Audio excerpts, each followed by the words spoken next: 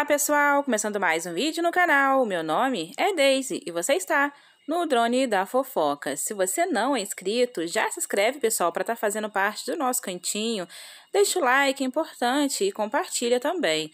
Vamos falar, gente, de Gatona Dai Ferreira, por quê?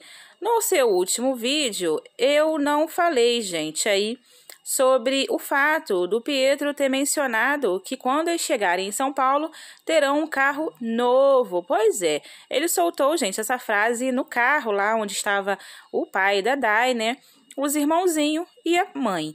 E aí, gente, o que nos chama atenção, né? Quando a Dai e o Paulo estavam ainda em São Paulo, ela perguntou no Instagram quem saberia aí quem faz um frete, né? É, de automóvel para outro estado e não vimos o carro do Paulo, né? Consequentemente, óbvio, ficou em São Paulo. O que aconteceu? Vendeu, trocou, né? É, investiu num carro melhor? Não sabemos até então, gente. É um mistério, né? Mas eu espero sim, gente, que se for para a melhoria da família, né? Se for para realmente, talvez, ele trabalhar com alguma coisa, que bom, né? Investir em um carro melhor, né? E principalmente se for para o conforto da família.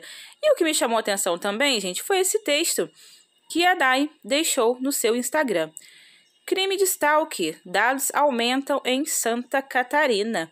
E perseguição pode começar na internet. Será, gente, que isso é uma indireta para as resenhistas? Ou apenas, né, gente, é algo que ela compartilhou por achar que tem a ver com a história dela. Não sabemos, né, gente? A Dai é uma pessoa polêmica, sempre acontecendo muitas e muitas coisas no canal dela. Algumas, é, muitas das vezes a gente deixa passar, nem comenta, porque também não vale a pena.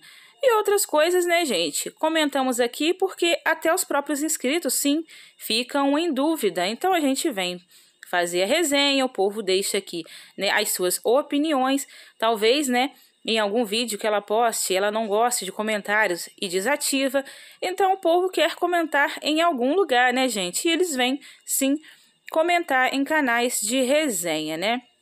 Bom, se alguém realmente é, é, comete esse tipo de coisa contra alguém, obviamente essa pessoa merece, né, gente? Vamos dizer, punição, merece sim, né? É, responder pelos seus atos. Mas é, eu acho que tá longe, gente, de pessoas fazerem isso contra a Dai Ferreira, a não ser, né, que realmente envolva aí, é, como foi falado, né, é, descoberta de endereço de escola de criança, do próprio endereço dela, pessoas indo lá, né, perturbar a paz da família. Mas fora isso, realmente será que tem alguém cometendo perseguição contra a Dai Ferreira? É, eu ainda tenho essa dúvida, né, gente? A não ser que seja realmente uma coisa muito grave, aí realmente eles vão ter direito, né? Vão ter o dever de se proteger contra esse tipo de coisa, né? Mas põe aqui embaixo o que você achou do vídeo, deixa o like e compartilha. Tchau!